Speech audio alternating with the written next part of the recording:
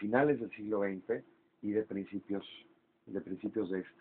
Eh, Fabián es uno de los representantes de algo que en Argentina se dio llamar eh, la generación del 90 o poesía del 90, em, es decir, autores que empezaron a publicar sus primeros libros en la década de los 1990 y que eh, se caracterizó en, en, sus voces más reconocidas, como la de Casas mismo, por hacer un discurso ya absolutamente eh, libre, desprejuiciado o descontextualizado, desmarcado más bien dicho, de la poesía eh, neobarroca, autores como Tamara Kamenzain, como Néstor Perlonger principalmente, eh, que afiliaban, digamos, política y poesía de lenguaje por el lenguaje mismo, ¿no?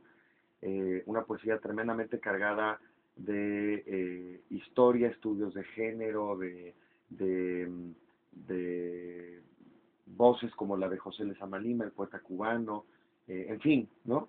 Una mezcla que desde luego dio espléndida poesía, pero que en algún momento saturó o vició la eh, poesía de los, de los entonces más jóvenes.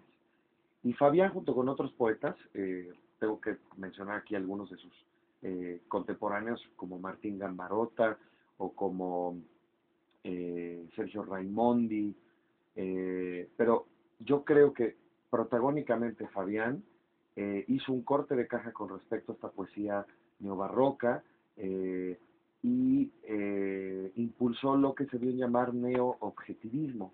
¿Qué, quiere decir esto más allá de, de, lo ciertamente insufrible de una teoría estética?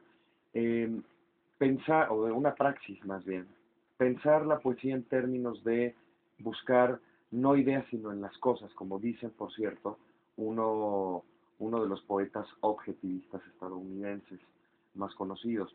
Em, es decir, encontrar en las cosas y en los seres, y particularmente en las cosas de todos los días, el, modo de eh, el modo de hacer un ejercicio poético, ¿no? Cómo em, acercarnos de primera intención y de primera mano a las cosas nos da verdaderamente con las revelaciones que se están buscando.